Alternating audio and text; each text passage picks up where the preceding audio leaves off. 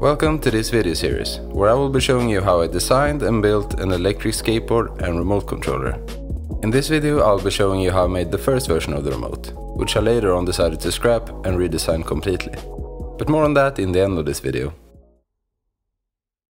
The remote will be based on an Arduino Nano, which is able to communicate with the skateboard through Wi-Fi. The Wi-Fi module I'm using is called NRF24L01 and runs at 2.4 GHz.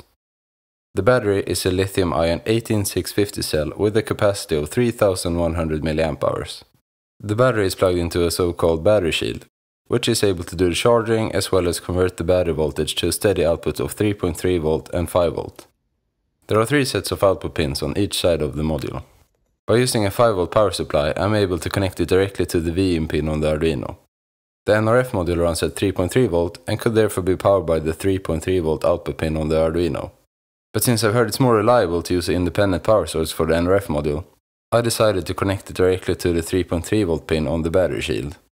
In order to control acceleration and braking of the board, I will be using a potentiometer. And to turn the system on and off, I'll be using a slide switch. At last, there will be two buttons in the system. One of them will act as a deadman switch, which has to be held down at all times, and when released, it will bring the board to a full stop. The second button is for cruise control. When pressed, the RPM of the motor in the skateboard will be read by the built-in Hall effect sensor. The Arduino will then tell the electronic speed controller to try and hold that RPM until the button is released.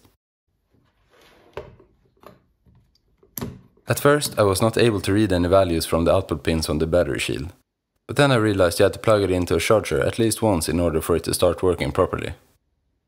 The slide switch on the battery shield turns the USB port on and off. I decided to remove the USB port as well as the slide switch in order to save some space in the controller.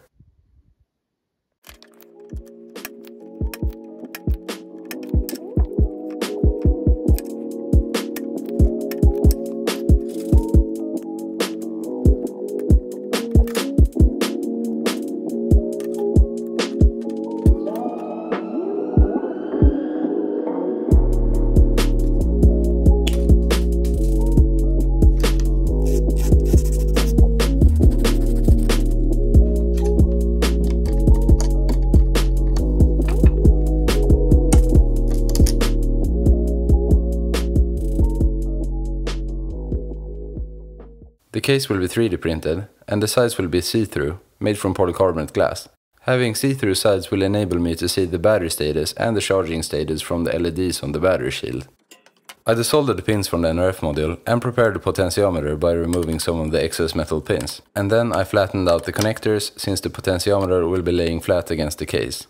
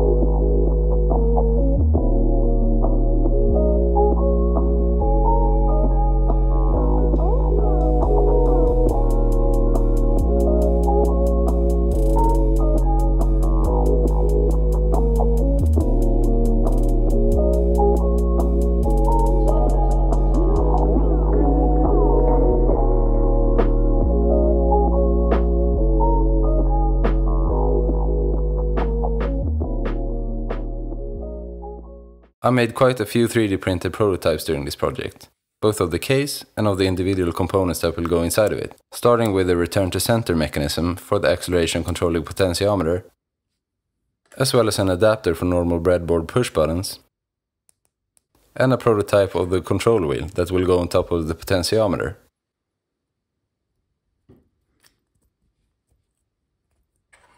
Everything will be assembled in the bottom half of the controller, and the top half of the controller will go on top of that and everything will be held together with three screws. If I decide that I want to make some changes to the code in the future, I can just remove the lid and plug the USB into the Arduino. This version was printed with a spring-loaded arm that will push against the control wheel on top of the potentiometer.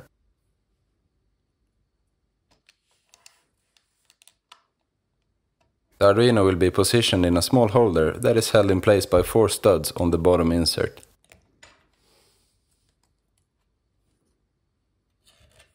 And this is what the final assembly will look like.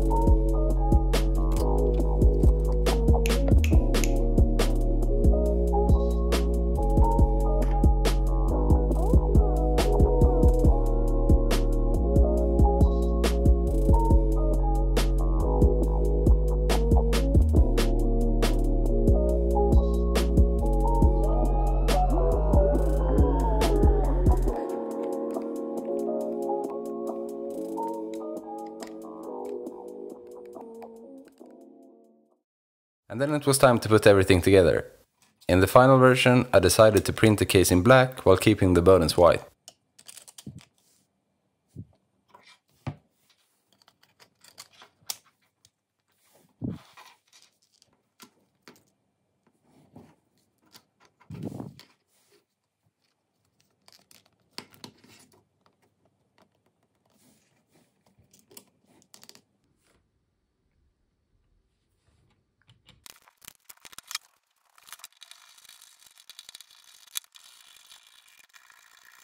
After assembling the remote, I started working on the code, and after some time I got it to successfully communicate with another Arduino connected to my computer.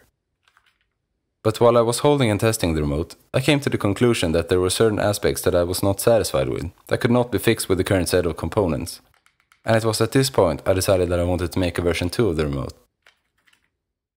I would really like to reduce the size and weight of the controller. The current battery has a capacity of 3100 mAh, which probably could run the remote for more than 100 plus hours, which is way more than I need. Secondly, I would want the remote to be more ergonomic. This time, I started by arranging the electrical components in a specific configuration, and then made a case to fit that. Next time, I'm going to start by finding a shape of the case that I like, and then try to fit the components inside of that somehow. I also want more programmable buttons so that I can add additional functions in the software later on, such as different power modes, reversing, etc. And at last, I want a screen to see current speed, distance traveled and more. So look out for the second episode if you want to see the newer and improved remote.